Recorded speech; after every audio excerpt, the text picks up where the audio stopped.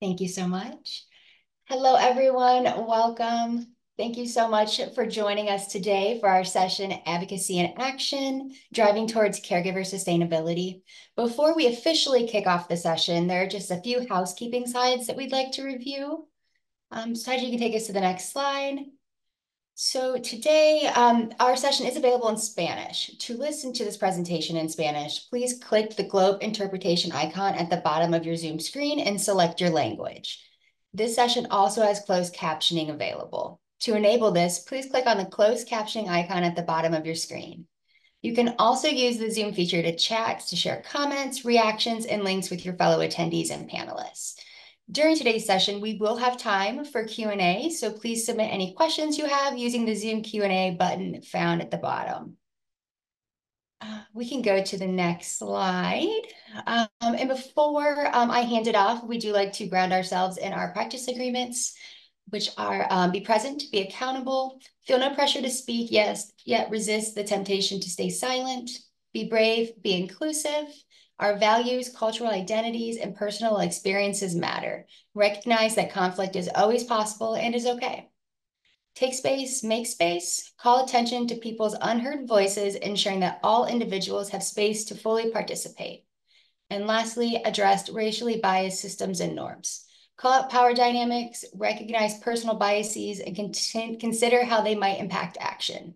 Avoid becoming defensive when Black, Brown, or Indigenous folks speak from lived experiences with racism. Now I can officially pass it off to Darrell, who is our moderator for today. Thank you so much. Uh, good afternoon, everybody. Uh, it is so good to be here. Uh, my name is Darrell Brooks, and I'm the founder and CEO of Love and Justice Consulting, an organization that provide leaders with diversity and social justice learning opportunities. And I just wanted to take an opportunity to welcome you to this incredible panel that we have today, um, Advocacy in Action, Driving Towards Caregiver Sustainability. Uh, and so uh, for our time today, um, it is really a, a great opportunity to uh, get questions answered. So as folks are sort of given their wisdom, their knowledge and experiences, uh, we really do encourage you to ask us some questions uh, as we begin to move through our time together. And so with that being said, uh, what we're gonna do is uh, our time is we're gonna uh, have some reactions. Um, as we saw in the beautiful presentation um, in the keynote uh, about all of the hard work that the coalition has been putting into um, this particular um, body of work, uh, what we also get to see then is sort of some lived experiences and relating in. And so what we're gonna do is uh, to kick us off to uh, do a round of introductions, really brief introductions of all of the members here of the panel. Then we're going to hear their reactions to some of those additional uh, storylines uh, while we're having some conversation today.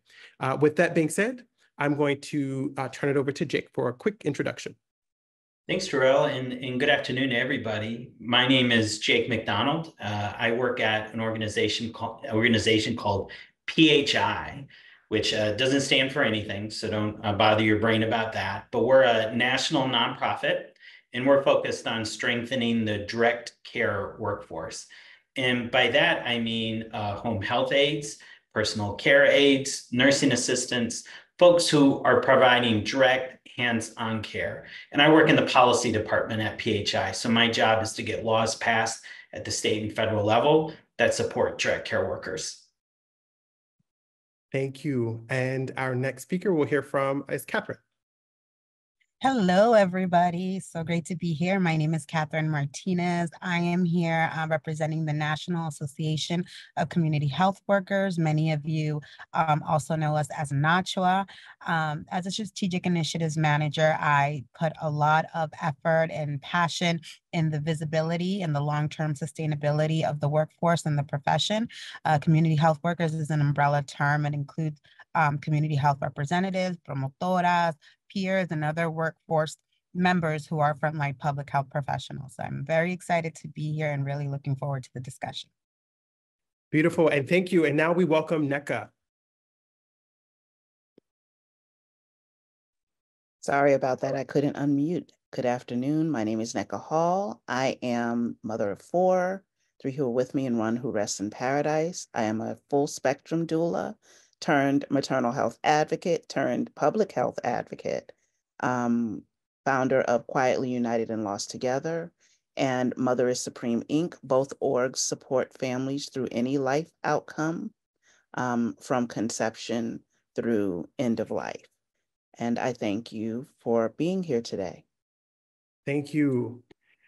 And I wanted to say uh, deep appreciation um, as we sort of um, begin to set the stage.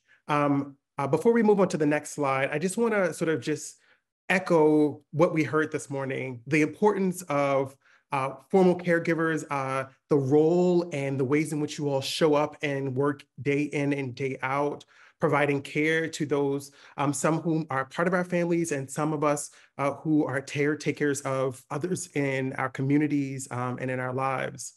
Um, and what I've learned uh, every time I sort of participate in a caregiver summit or uh, with NATRA, uh, that at some point I was a community health worker, and in some ways I still am. Just like I was also listening to this morning um, those definitions, and I was like, oh, okay, well, uh, I must have also been a caregiver as well. Um, but way back when I was a young one, um, coming and navigating uh, uh, a life with people who have struggled with addiction for uh, the majority of my ch early childhood, I found myself similarly taking care of my cousins and uh, little ones around me, making sure they got to school, uh, make sure they had food and everything like that. And so I really appreciate these spaces because um, they provide um, uh, affirmations and some language to uh, the things that I've experienced and navigated, and also to be able to find community. And so, from one caregiver uh, to another, I just wanted to say I have deep love and appreciation for everything that you do, uh, and we do not take it for granted. And so, as we move into the next slide, what I thought was an important place to start before we hear from Jake is in some language, right? And I think sometimes uh, we uh, uh, words are overlapping. And so we wanted to just frame this. So when we're talking about uh, community health workers, uh, you might hear some of us uh, talking about that today. Um, CHWs are often talked about as frontline public health workers um, who are trusted members uh, of the communities and usually close to understanding those people who might need us and their, our services this trusted relationship really allows them to connect, to be in a liaison role, to link, to build community, to serve as an intermediary between the health and the social systems, and the community to help facilitate access to important and life critical services, um, to improve our quality of life and the people that we're a part of um, and the communities in which they are operating. When throughout the day, you might hear us talking about direct care workers. And when we're talking about that, we're talking about direct care workers assisting folks who are older adults and people with disabilities uh, with the daily tasks, such as dressing, bathing, and or eating. Personal care aides may also help clients with meal preparation, housekeeping tasks, errands, appointments, employment and or social engagement. And home health aides um, and nursing assistants perform some clinical tasks, such as wound care, blood pressure readings, and or assistance with a range of motion exercises uh, under the supervision of a licensed professional. And also, um, we're joined by a doula as well, and we have that as a uh, trained birth specialist who offers various culturally sensitive services, which may include ongoing physical, emotional, spiritual, and informational supports the clients and their families before, during, and after childbirth. Doulas help clients prepare for birth, advocate for their wishes, encourage them to take an active role in their pregnancy journey, and assist them with the transition into parenthood. And so I just invite us to take a moment to just kind of take that in. Hmm. And so as we move through the day, we just kind of wanted to offer that, knowing that there might be also other variations of definitions and uh, so forth, but we wanted to at least provide some framework for uh, uh, the, the context that we will be engaging in today. And so earlier we watched the, the first scenario um, and we wanted to give Jake an opportunity to respond. Jake, please take away, you, you know, um, having watched that vignette, could you talk a little bit about sort of your general reactions and any other things that you feel relevant as it relates to caregiver sustainability in action. Yeah, uh, I guess for folks, if, if anyone didn't catch it at the keynote, the domino effect scenario uh, showed really just a fraction of the challenges that family caregivers face when they're trying to balance the demands of their career while also caring for a loved one. And, and for me, the overwhelming thing I think of is how this is just one example of how our entire economy hinges on the labor of care workers, who are usually women. And for paid, paid caregivers, they're usually people of color and disproportionately immigrants. And without this labor, this care work, everyone's careers and families and in health and our entire economy can't function. And as a very baseline to my work is an acknowledgement that uh, we need to realize that as a culture and as a society, and then begin to appropriately value that labor. And that's just a necessary first step to what uh, PHI and a lot of us here are trying to do. Um, but the scenario also highlights kind of three distinct ideas that I've been working on in, in my role at PHI. And one is how we are struggling in this country to attract and especially to retain home health aides. And it's not an accident in the scenario uh, and in real life that if a home health aide calls in sick, there isn't always someone to replace them. Uh, people call this a, a, worker shortage, but really it's a job quality crisis. Mm-hmm. If we were to invest in good quality home health aide positions, we'd be able to attract and keep people in the field. And by job quality, you know, that means compensation, of course, uh, but it also means are these workers receiving respect and recognition and good training and supervision? And do they have opportunities to make a career out of it? Um, so the, the second kind of line of thinking I had in response is how this scenario highlights the importance of workplace laws and employer policies like caregiver anti-discrimination protections, paid family and medical leave, paid sick and safe leave, and flexible schedules. They're so important to making sure no one has to choose between their own health or a family member's health and their livelihood. And that's true in the scenario for the mother, but it's also true for the home health aide. So the home health aide who wasn't able to come into work, are they losing their job because of that? Or do they have a paid sick day that they can take? Are they able to take off when their child has to stay home from school? Is it their responsibility or the employer's to make sure that uh, someone's there for the care recipient when that home health aide is ill? And one thing I see time and time again working with home health aides is that the people who are doing care work often have the hardest time getting care themselves. Mm-hmm. So they have less access to childcare, to health insurance, to reliable transportation that gets them to work. And yet they're more likely than the average person to be a primary unpaid caregiver in their own family. So again, our paid caregivers are more likely to also be unpaid caregivers as well. Um, and the third kind of line of thinking I had was something I see so much of, but I don't hear from our lawmakers, the people in power, which is how the anxiety of how to take care of ourselves and our loved ones, both financially and logistically, takes such an immense toll. And those of us who are caregivers, paid and unpaid, are facing a steep toll on our well being when there aren't policies in place to support us. And no one is counting the cost of that toll, but it is absolutely immense. Um, I think as as the, as this crowd knows. Um, so I finally just wanted to kind of turn those reflections back to our kind of focus uh, during this panel, which is on on policy efficacy. And at, at PHI, we have a ton of policies we're working on, both at the federal level and at the state level. And I'll really encourage you all to check out our website. And I'll, I'll include a link in the chat in just a moment. Um, but on that website, we have lists of federal and state policy recommendations. And everyone here can educate themselves and they can reach out to their elected officials at the state level and at the federal level. And I'll leave my email too. And um, everyone here should feel really comfortable letting me know if you need help getting engaged in, in this work. Um, but at, a, at the core of all those policies that we work on is the idea that we got to make direct care jobs better quality jobs.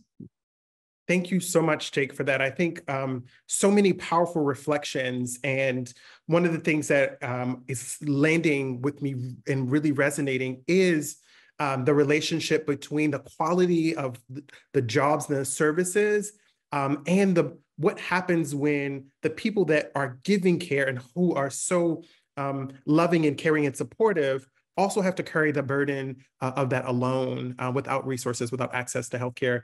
Um, and for me, this it just squarely sits as a justice issue and um, a quality of life issue to make sure that everyone has the things that they need in order to be successful and to thrive, especially those um, uh, and it, who give us care and who I think champion and shoulder tremendous burdens so that the society can function.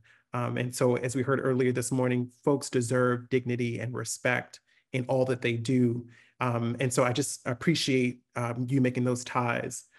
And so I, as we sort of go and transition um, to see another one of those powerful uh, clips, um, uh, vignettes, if you will, um, I, I want to sort of pass it over to the team to play the uh, collisions of responsibilities um, slide, and then we'll hear from Catherine when we come back. In The Collision of Responsibilities, a healthcare professional, Michael, debates approving a family caregiver education program, recognizing its value but ultimately rejecting it due to competing priorities. Yet, when Michael unexpectedly becomes a caregiver themselves after a family accident, Michael faces the harsh reality and challenge of inadequate training and support, underscoring the vital necessity of caregiver education and resources in healthcare. This storyline emphasizes that caregiving can be a universal experience that touches everyone at some point in their lives and the importance of adequately preparing and supporting caregivers. Michael is a healthcare professional who works in a hospital setting. He's reviewing a proposal in his office. The proposal outlines the cost of clinical care time to educate family caregivers as part of the discharge phase. This commitment to education would equip caregivers with vital information to support their loved ones as they care for them from home. While Michael recognizes the value of financially supporting the program, he is challenged by competing priorities and questions who should take the responsibility to equip family caregivers for effectively caring for individuals upon discharge. After much debate, Michael and other team members decide that they will not be approving the Family Caregiver Education Program due to the cost of the program. The hospital team overlooks the significant value that a family caregiver education program could bring to both the patients and the institution. Many patients are being discharged during this time, and their family caregivers are supporting them through the process. The caregivers have questions and concerns about how to care for their loved ones. They are clearly nervous. The hospital team assumes things will be taken care of after the patient is discharged. They have what they think is the solution, but it's not helpful enough. Michael leaves the office and goes home, but then he receives an urgent call. His 70 year old mother has been in a terrible car accident. His brother, who is their mother's primary contact and caregiver, has also been injured in the crash. His mother is hospitalized, his brother is able to come home, but will have a long journey to full recovery, so he needs Michael to take over caregiving duties for their mom. After a few days, Michael's mother is discharged and he takes her home. He now has to juggle caregiving responsibilities with work responsibilities. There's a six month wait list for a caregiver through home health. Michael has had little training of how to care for his mother in this situation. Michael is overwhelmed with all the paperwork the hospital sent him home with. He begins to realize why caregiver education matters. One late evening, a few days after his mom has been discharged, she is not feeling well. She has stomach pains and feels dizzy. Michael is worried and not sure what to do after searching through her discharge paperwork. He looks up her symptoms online and calls care triage lines to determine if an emergency department visit is necessary. After several failed attempts to speak with a care provider, Michael takes his mom to the emergency department. In the ED, they learn that these symptoms are common side effects of the medicine she's been prescribed after the accident. This is information that could have been provided by the clinical care team at discharge. There are financial benefits associated with offering education to caregivers. It's well known that readmission rates can be reduced, emergency department visits can be avoided, and people and their loved ones are more satisfied. The likelihood of setbacks post discharge decreases, ultimately saving the institution and families money in the long run. Rosalynn Carter said it best There are only four kinds of people in the world those who have been caregivers, those who are currently caregivers, those who will be caregivers, and those who will need a caregiver. Individual call to action. Be or continue to be role models. Through your daily actions, emphasize that caregiving is a precious community resource that we all contribute to and take from throughout our lifespan. Organizational partners call to action. Invest in community based workforces. This includes, but is not limited to, community health workers, promotoras, doulas, home health aides, and peer support specialists.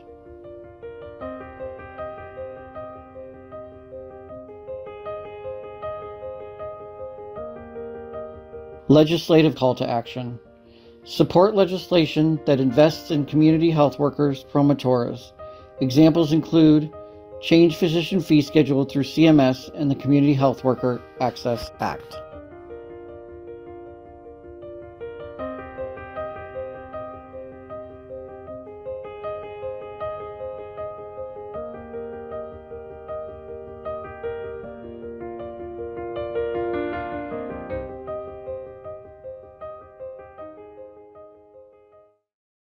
Wow, thank you.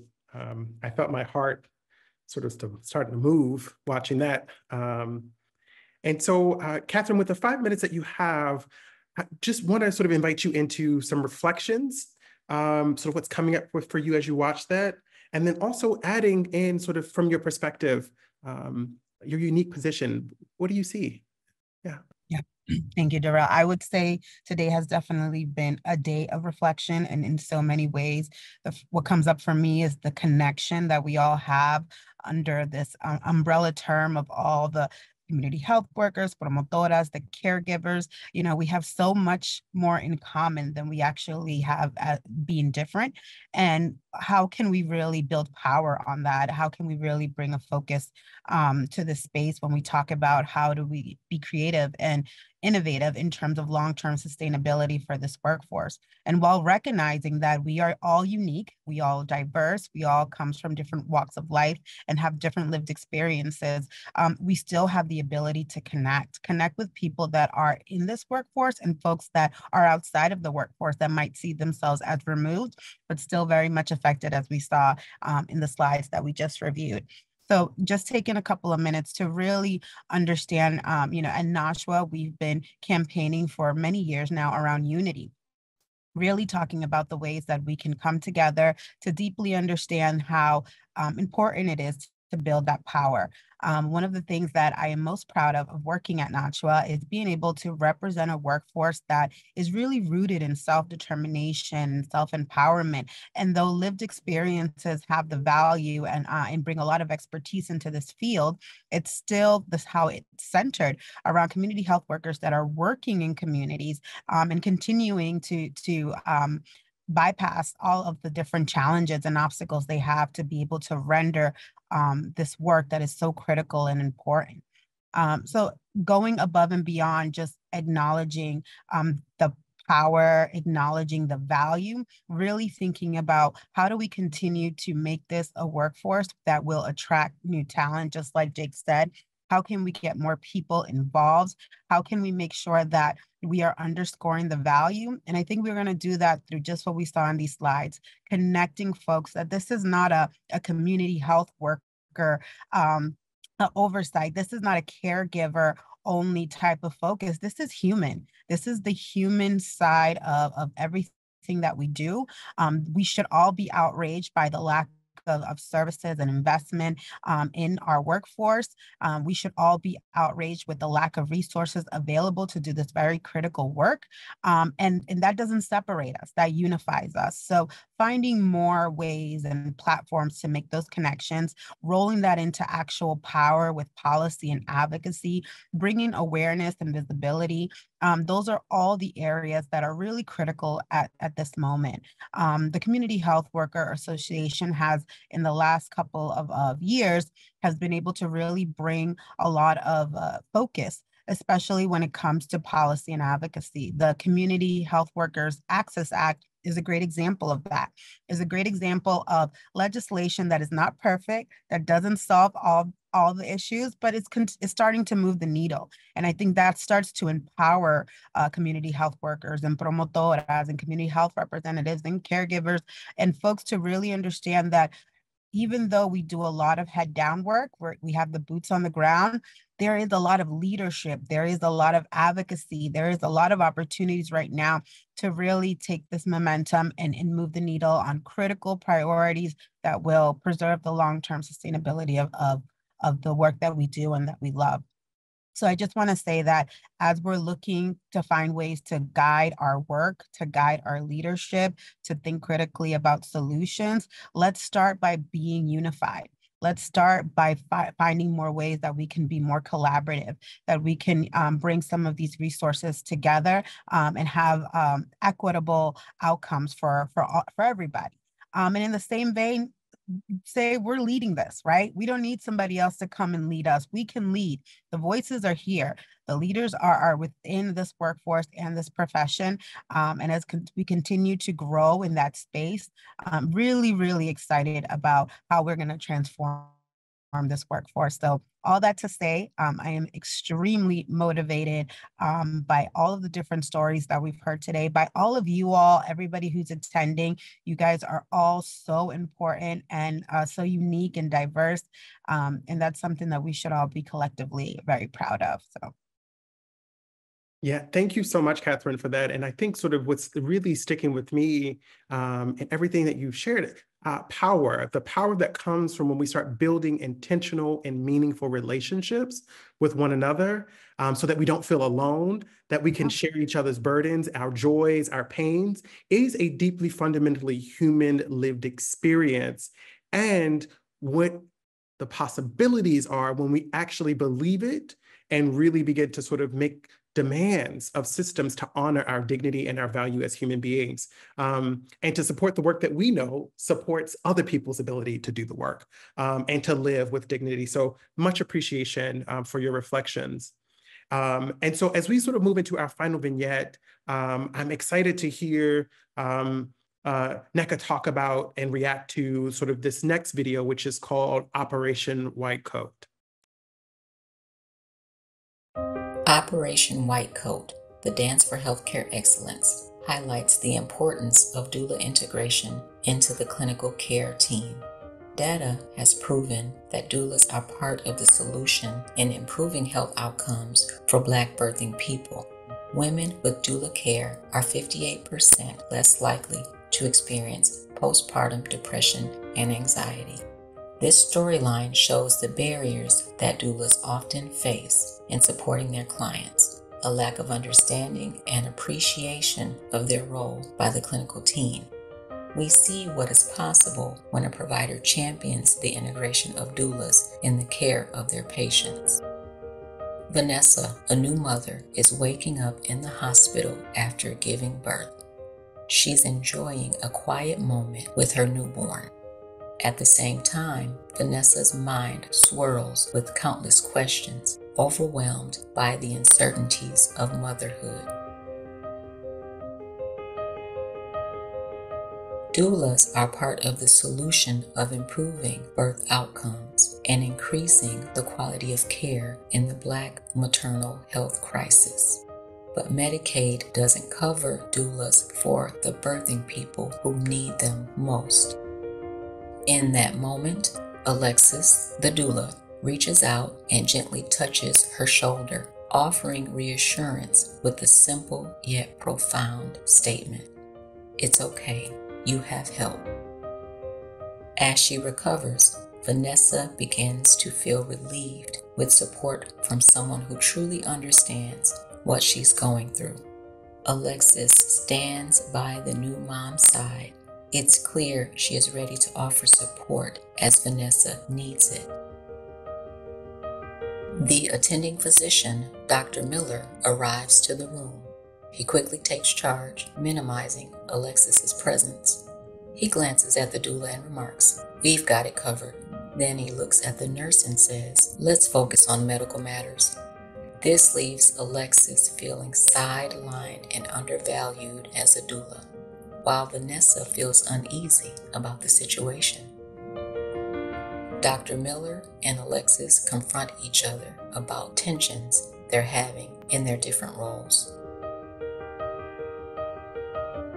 Later in the evening, Dr. Miller happens to overhear Alexis and Vanessa having an honest conversation about Vanessa's mental health. He begins to understand that they have a connection, and it's not just about the numbers on her chart. After she leaves, he sees that Vanessa feels more at ease and her baby is sleeping peacefully. Dr. Miller experiences a transformative moment, witnessing Vanessa and her baby's progress, acknowledging Alexis's invaluable role as the doula. Prompted by this realization, Dr. Miller delves into research on doulas.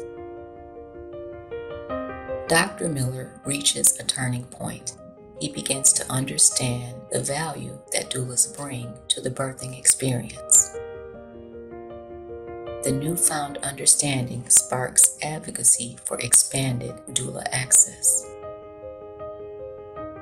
For our call to action, we need the individual to share knowledge, talk to friends and families about the roles of doulas during prenatal, birth, and postpartum care, and how doulas drive positive birthing outcomes. For our organizational partners, build a pipeline that easily connects people to doulas. Educate all members of the clinical team on collaborating with doulas and the positive benefits of doulas on the birthing experience.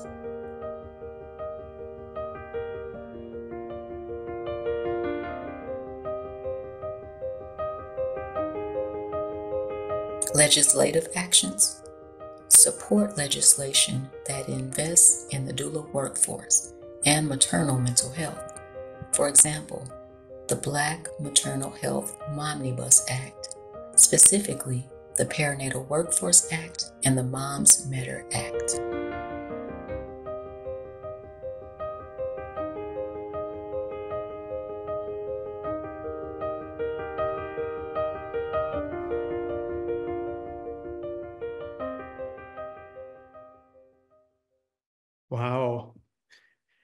Thank you. That that piece of that touch of reassurance just took me out. I was like, oh, how much of our lives we just need someone to just be there. It's like, I got you. So, Nneka, I, as you sort of have your five minutes, um, I invite you to react to that. Um, and this next piece I want to ask you, um, one of the things that we talked about in prep um, that I would hope you would give voice to here is sort of those touch points um, and how that might look different. And of course, you can take that however you want to, but just would love to hear and can't wait to hear what you have to say.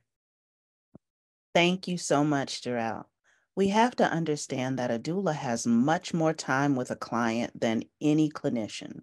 We're able to go to their homes as needed. We're able, we're available via phone without having to leave a message. We are able to text on a regular basis, email, um, join them at appointments, etc.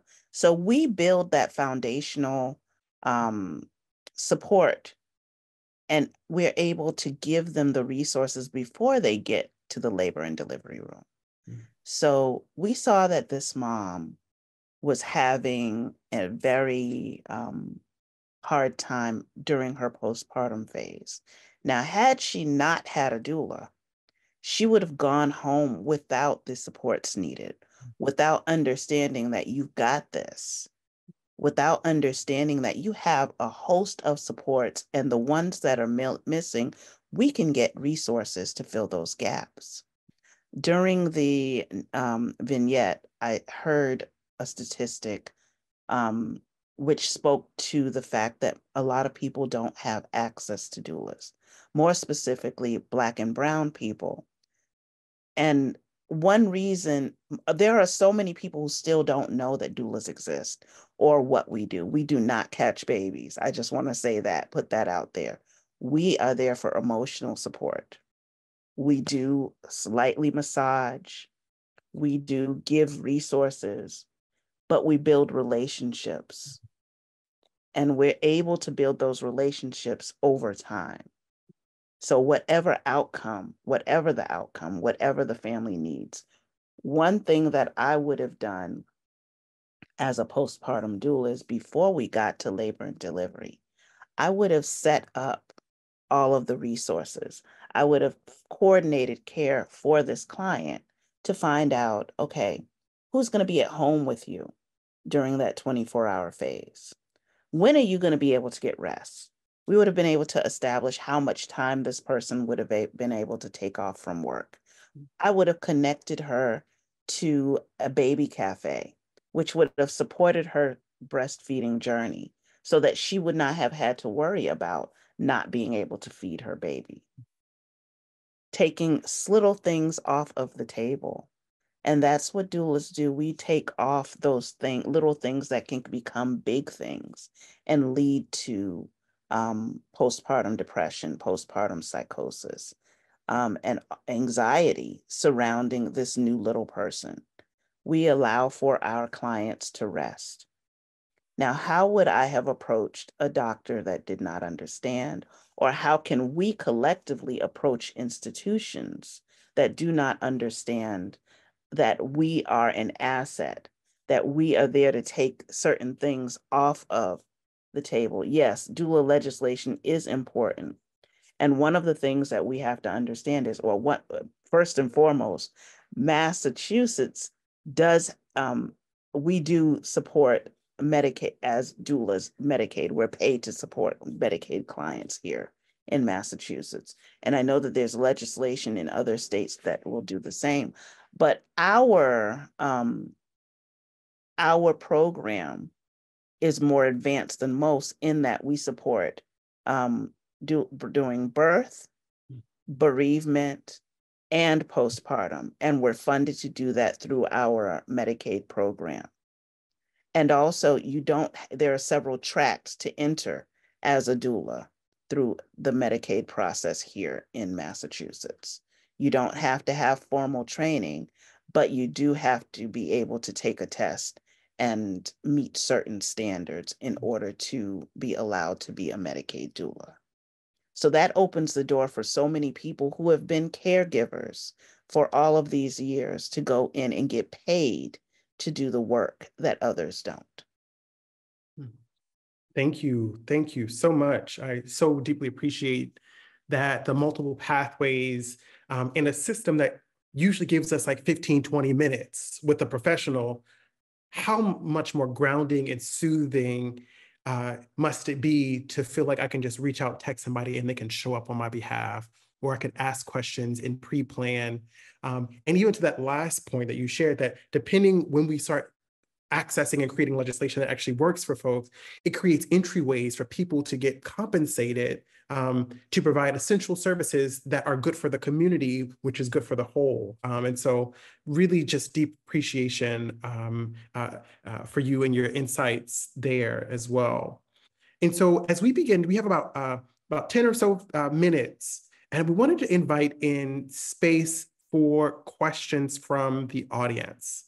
Um, and so I wanted to just create a little bit of opening. If anyone had anything to say, you could drop it in the chat um, and we can look there. Uh, and all right, let's see if we have anything in the box.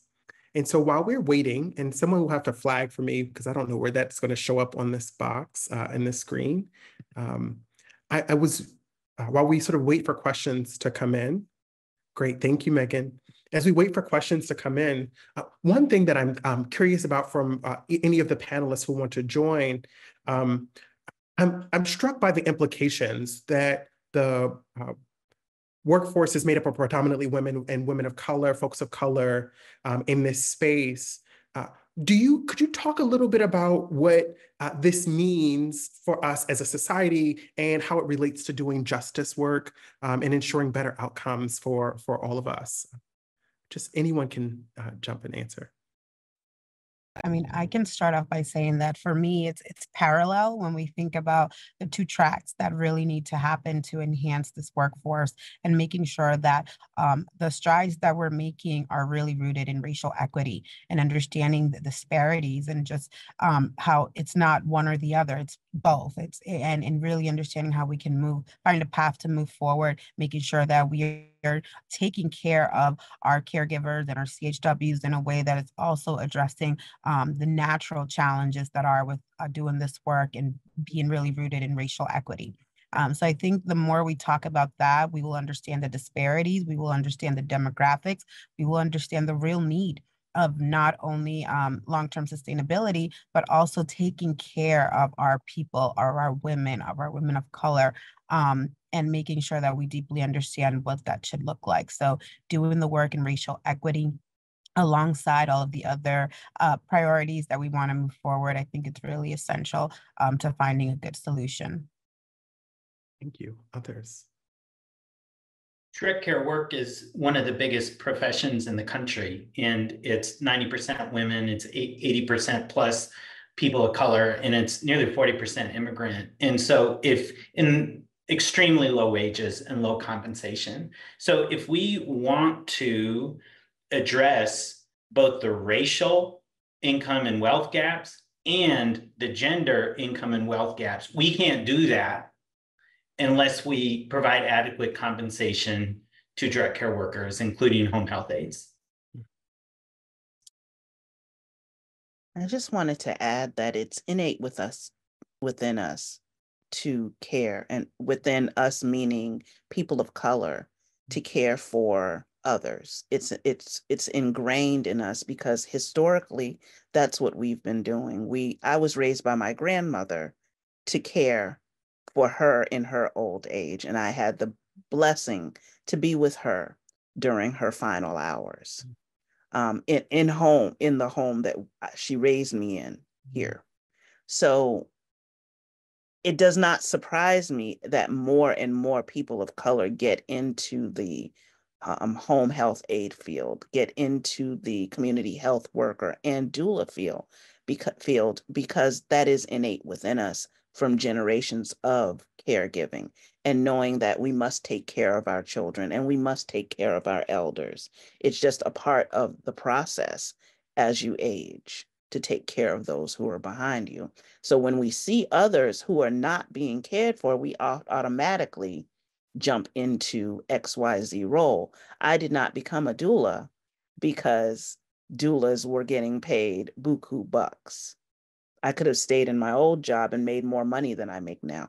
But I saw the need to become a doula 12 years ago. And that is why I'm here today. Oh, thank you. Thank you all uh, for uh, your wisdom. Uh, and so we have a question uh, that came in. Um, and so anyone, please feel free to, to, to take it. Um, and so someone says, as a program provider, uh, what avenues do you suggest to reach these caregivers?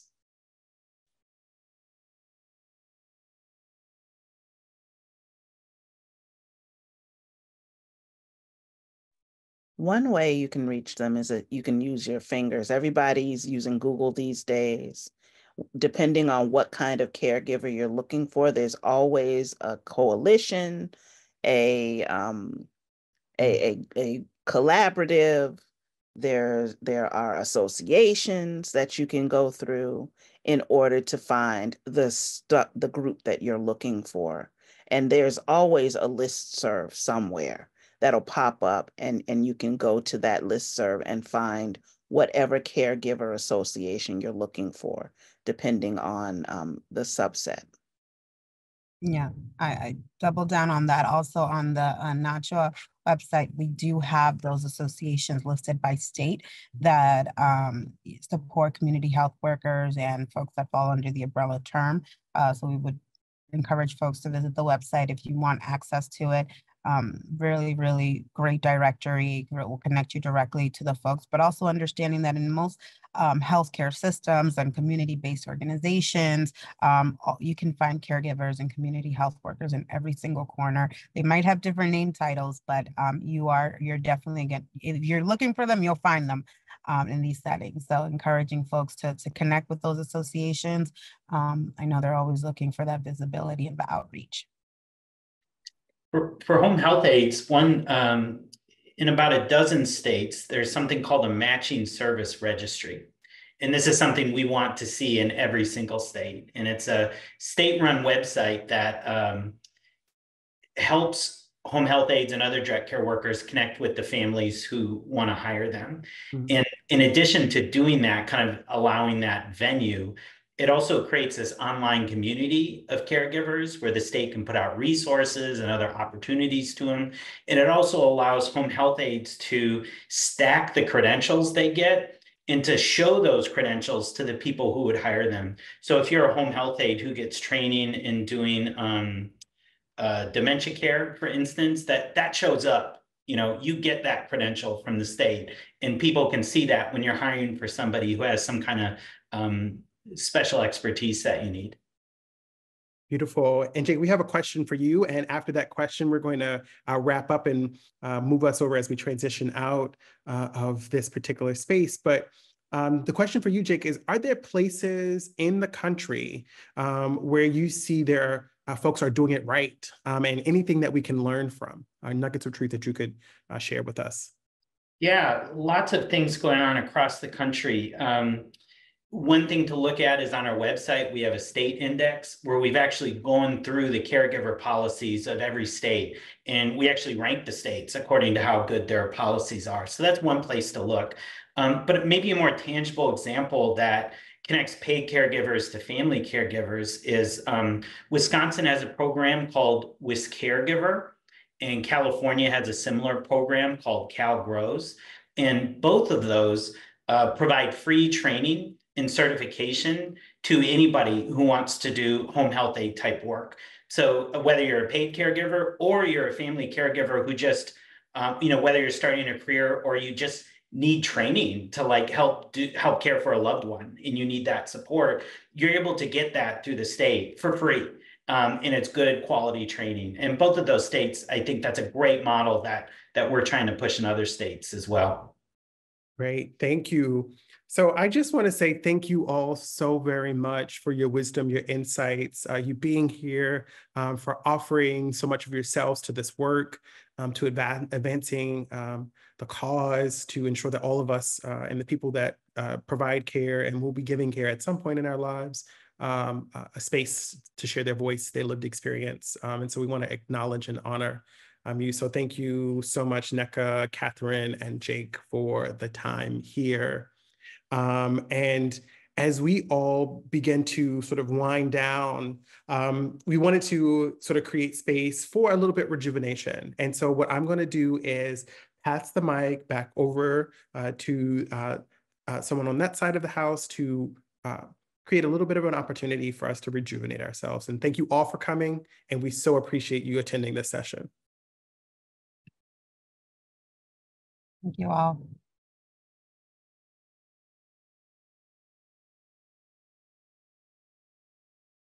Hi, everyone. Um, we actually are uh, not going to have a rejuvenation exercise for this uh, session, but Taiji, if you can share the screen, I can speak to some of the resources uh, that were highlighted that and how everyone can access those.